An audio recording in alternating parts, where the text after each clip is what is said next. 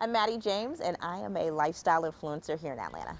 I love the Read Shop by the Merchant. I love the Merchant just overall. Like their stores in Atlanta are so cute, and I like love buying everything out of the store, right? But I love to come here and work, grab a cup of tea or a cup of coffee if I need it, right? And it's just small enough. It's not like overwhelming. I can come and crank out a couple hours of work for my blog, and it's close to home, so I can go pick up the girls right after from school. Oh my gosh, it's so hard to just say one place. but when I have family come in town, I love taking them to West Egg.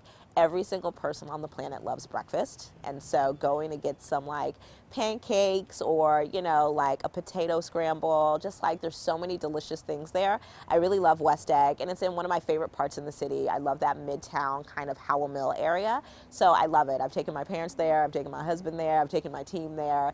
I, I just love West Egg so much. I love how versatile Atlanta is, right? Like it's just a little bit of everything. The food is amazing. There's so many different types of people. It's not just one note. There's so many interesting things about Atlanta. There's always something to do and there's always something exciting going on in the city. Like it's slow enough to like raise your kids, but it's fast enough to film a movie or like have an award show here. So I just love all of the different layers of the city.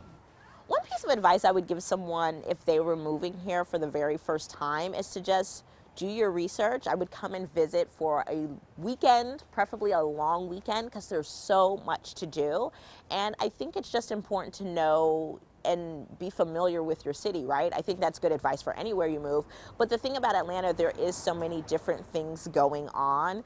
It's like, do you really want to be in the city? Because the city can get very jumping, you know? But if you do have a family, there's really such great pockets in Atlanta where you can raise your kids. I don't want anybody to feel like they're obligated to live one way, maybe because of what they've seen on TV, uh, what one friend is like. And so I would come and spend a long weekend here and really do some in-person person research and really just appreciate the heart of the city. So that way when you move, it's not something that you regret because I think sometimes you can easily read something online and say, well, this is what I want to do. But there's nothing like that in-person experience with Atlanta. It's just such a special place and everybody should experience it in person.